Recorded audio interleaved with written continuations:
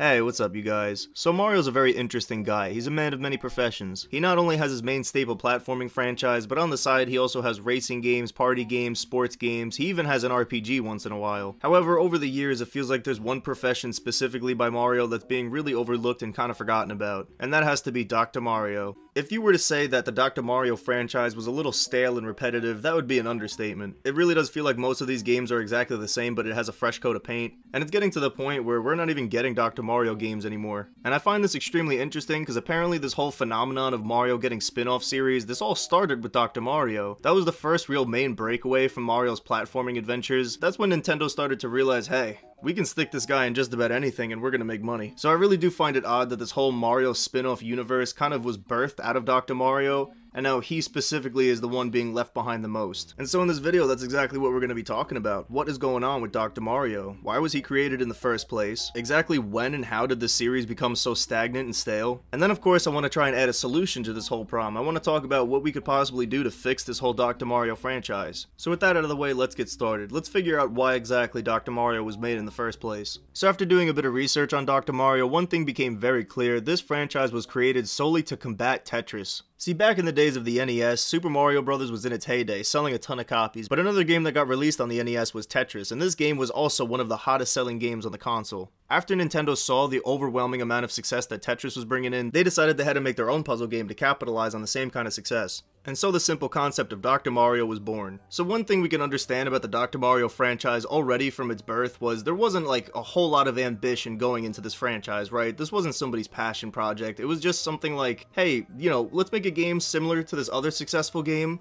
and let's see how well we can do. And it worked out for them. Apparently Dr. Mario, the first iteration of it on the NES, it did very well.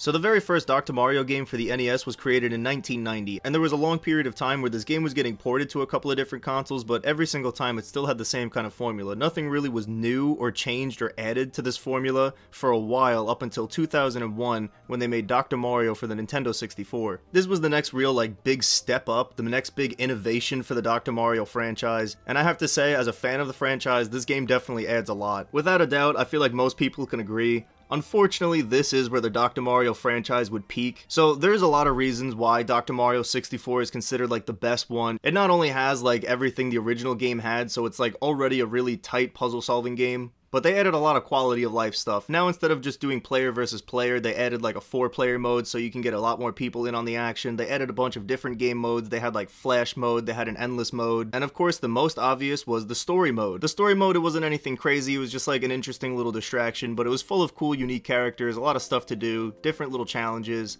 and it had a decent bit of difficulty to it. I think the reason this game sticks out in a lot of people's mind is because of the story mode. It was very simplistic, but it was just like a lot of the cool unique backgrounds and environments with the characters that go along with it. It does make it feel like it comes a bit more alive. And this game was absolutely perfect. It took everything the original Dr. Mario game had and it added to it. It had very memorable characters, many stages to pick from, a lot of cool music, new game modes, and to wrap all of this up, it had a really nice art style to go along with it. There really was a lot to love about Dr. Mario 64, and as a fan of the game, I couldn't wait to see what would come after. And unfortunately, I was gonna have to hold my breath, because after that, we pretty much would get nothing new, nothing innovative out of the Dr. Mario franchise. It would just kind of be the same formula over and over again, but with a fresh coat of paint. So let's go over a couple of the different Dr. Mario iterations that were released after Dr. Mario 64. The next game to be released would be Dr. Mario Online RX that was released for the WiiWare. Now yeah, I do remember back in the day I definitely bought this game. This was like the natural next step up, and while I did like this game, I thought it was fun and interesting, and I did like the fresh coat of paint that it had,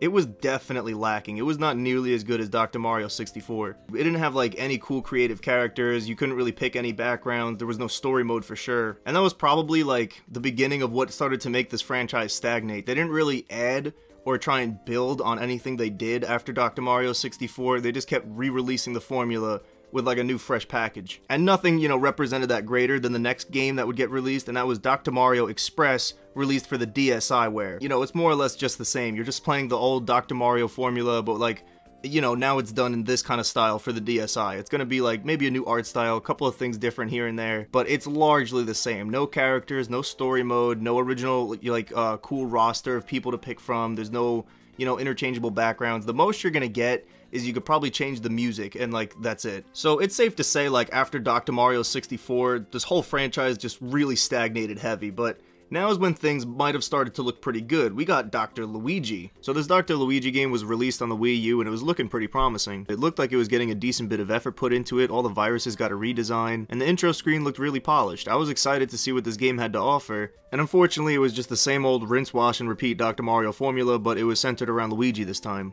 At the end of the day, the virus redesign didn't amount to much, and the whole new thing that they added with this game was Luigi throwing literal L's I don't know how fun that is. It really doesn't look that fun. It's not a reason enough for me to want to buy this game. I, I don't feel too bad that I missed out on it. So after that, the Dr. Mario franchise was pretty down bad. It really didn't have much going for it. After Dr. Mario 64, it just stagnated real bad. However, to my surprise, the next entry in the franchise started to turn it around a bit, and I'm a little disappointed I never played this one. And that was Dr. Mario Miracle Cure for the 3DS. Now this game was pretty much doing everything I was complaining about. It was adding something new, and it was making things fun. So from what I could see, I never got to play this game, but there were a bunch of different missions, so you would actually switch back and forth between Mario and Luigi, so already that's a bit of variety, that's pretty cool. They actually brought back the gameplay of Luigi throwing L's from the Wii U game, so that's actually pretty cool. But on top of that, they added a feature where Mario is now using items. And this changes a lot, it's not just like how you combat the viruses, but they completely redesign like how they're lined up too. Like this game, this game right here, it did everything right. This just looks like the same Dr. Mario formula, but it looks completely redesigned, completely fun. It's something this franchise has been needing for a while. On top of that, the art style the game had going for it wasn't too bad. This was a pretty cool looking game. And it even had some online battle features. That was pretty impressive. I would say the only thing that this game like fell short of was just having a small roster of characters and some sort of throwaway story mode. If it just added those two things, this would have been better than Dr. Mario 64 and this would have been the new standard.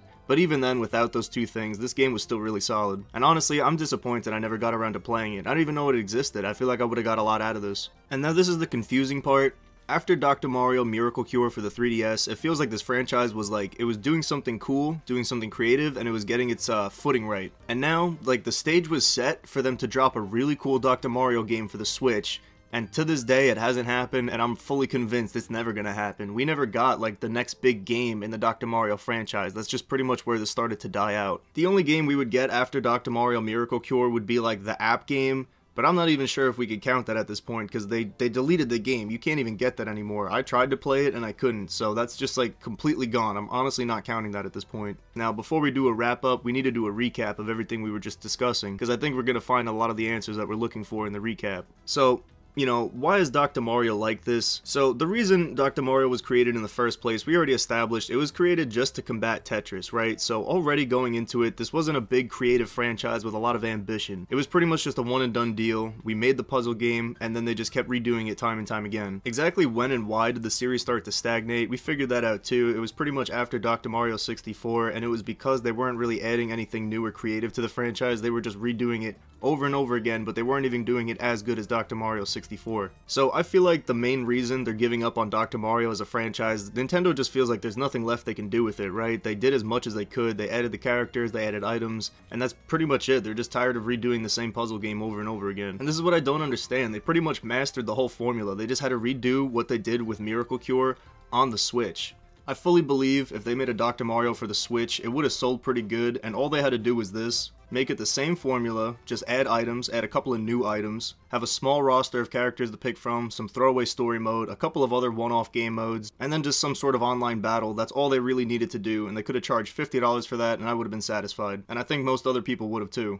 And that's sad. And like, this is the solution I'm willing to offer, because I understand at this point gaming is becoming expensive. All these companies, they're really hesitant on making new games because you just don't know if you're going to get your investment back. I get that. But one thing I feel like would be a really good idea for the Dr. Mario franchise, it'd be a really good fit, is if they did some sort of collaboration with the Luigi's Mansion franchise. For whatever reason, like Dr. Mario and the viruses mixing with like EGAD and the whole ghost thing, I feel like that'd be a really cool collab, and I feel like the gameplay variety would be insane there. I don't know. Definitely let me know what you guys think. Is Dr. Mario as a franchise like redeemable? Was what I said a good idea? Would you have played a Dr. Mario game for the Switch? Or at this point, is this just like some old dusty boomer franchise that needs to be killed off? One thing I'm not willing to accept is that uh, there's nothing you can do with this franchise. You could definitely do some sort of 3D thing with Dr. Mario. That's easy. I'm not going to go on a whole tangent, but there's a lot you could do with this franchise. Or you could just simply add a couple of new items and game modes. That would be enough. There's a lot you could do with Dr. Mario, but again, it's all on if Nintendo decides to gamble on that. Like always, you guys, thank you so much for watching my video. I always appreciate that. I'm always working on new stuff, so make sure you like, comment, and subscribe, and uh, I'll just see you in the next video. See ya.